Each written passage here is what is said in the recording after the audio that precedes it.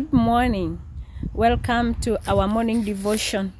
Our reading today comes from the book of uh, First Kings, chapter 18, and verse 4. And what we are going to talk about is an act of kindness. Uh, I'll read verse 4.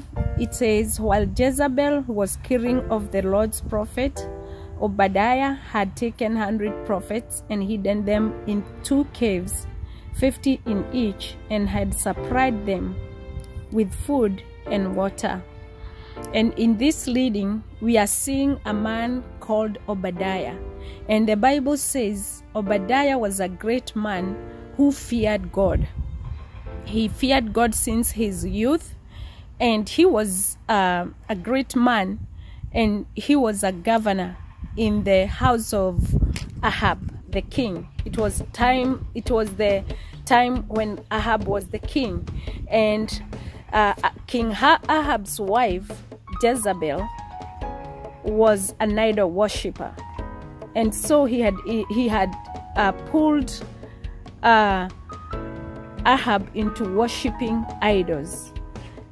There was a man Obadiah who was the governor he feared the Lord and he put an act of kindness during that time. The prophets were in distress.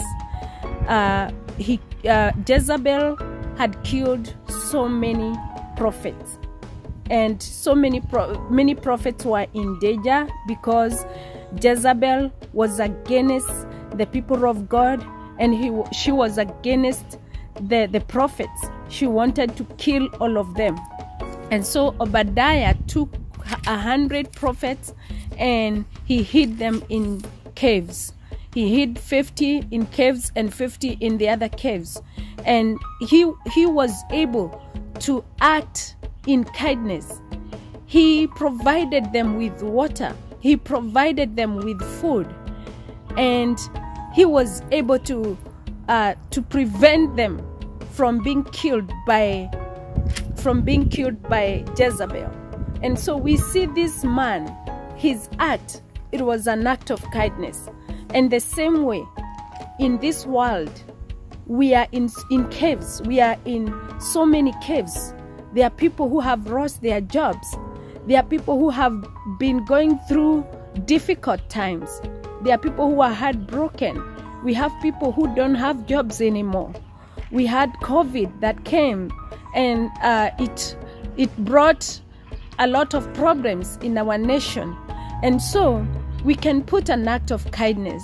We can pray for our nation. That is an act of kindness. We can pray for our neighborhood.